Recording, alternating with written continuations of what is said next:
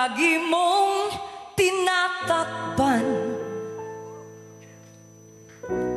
ang iyong katauhan. Ikaw ay sinungaling, masyado kang magaling. Masyado kang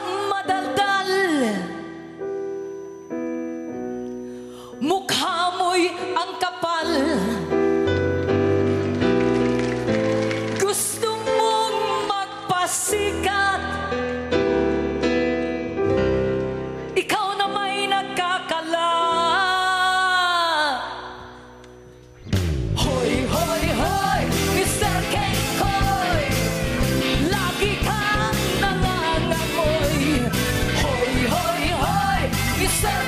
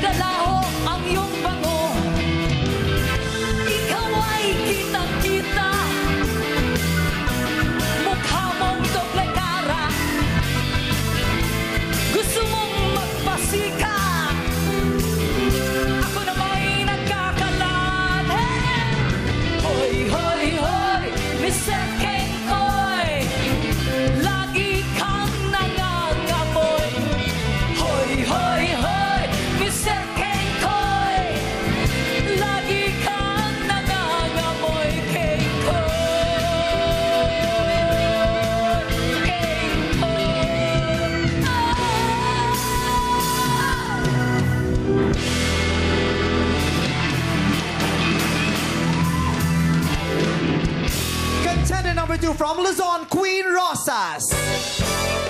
Welcome to your all-time favorite search for outstanding amateur talent. Tawag ng tanghalan sa